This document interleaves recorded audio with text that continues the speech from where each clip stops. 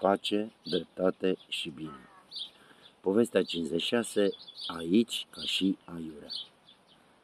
Câteva fete, strânse ca într-un ciorchine, cântau dându-se pe un balansoar. Pe gagicul meu l-o iubi mereu și îi sunt gagică, mă cheamă Anica. Cât să aibă? 13, 14 ani. În țara Iurea sunt considerate mature, cunosc deja prețul banului și al sângelui. Unele sunt pe acolo mame. Aici sunt copilițe, abia resimțind în ele înflorirea altor instincte. Acum, strânse ciorchine, cântă. Melodii ieftine cu băieți zburători care șoptesc în versuri trep chemările ascunse ale inimilor. Atingerea mâinii, o adevărată îndrăzneală, înluarea pe după gât, o brăznicie, sărutul, un vis în care s-ar vrea pentru totdeauna scufundate. În alte privințe, visul sigur nu le va certifica speranțele, însă dragoste și nopți de bază vor avea. Acum însă cântă. Nimeni n-are dubii că e al meu iubi. Alături, băieți ca ele, ori uh, mai mici, pornesc să joace un fotbal.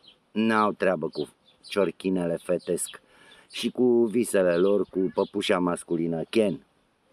Băieții ajung pe un teren tare, cu grob și denivelări, dar parcă ei le văd aiurea. Joacă o miuță de parcă le-ar frige buza dacă s-ar opri. Totuși, la un out prelungit, au dat mingea la mandravela câțiva sătui de așteptarea balonului, mi-aruncă o întrebare în timp ce fac niscaiva mișcări de întreținere a condiției fizice. Auzi, nene, nu știi cu cine a jucat Steaua în finala Cupei Campionilor? Cu Barcelona sau cu Real Madrid? Că unul zice câr, altul mâr. Și n-avem pe aici iPhone-ele, le-am lăsat la vestiar. N-avem cum dau un ochi. Le dau un oarecare răspuns, dar n-apucă să mulțumească sau să-mi ceară amănunte extra. Billy Boaca a fost recuperată și repusă în joc. Nu mai pot sta cu ochii lângă. Jocul vivace taie legătura cu exteriorul terenului. Cioporul de fete când și când îi încurajează. Dar nici n-ar lăsa balansoarul ăla, doamne ferii. Tot zdranga, zdranga pe el. Doar una tot strigă. Bine iubi, dă pasă iubi, ai grijă iubi, la ghelbanul ăla, dă la oase iubi. Iar golanii de pe teren o continuă. Ce dracu faci iubi? Iar dai cu stângul în dreptul iubi? Na, belea, că ai dat autogol iubi! Câr, câr!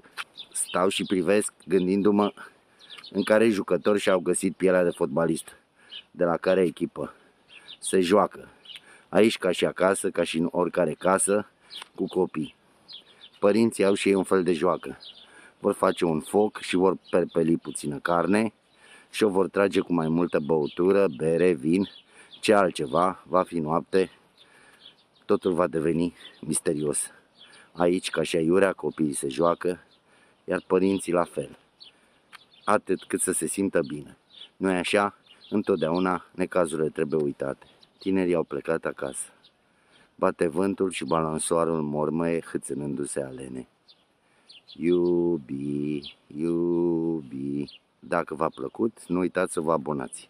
Poate lăsați un comentariu ar fi excepțional. Vă mulțumesc că ați urmărit această scenă literară și nu uitați, data viitoare va veni o poveste și mai interesantă.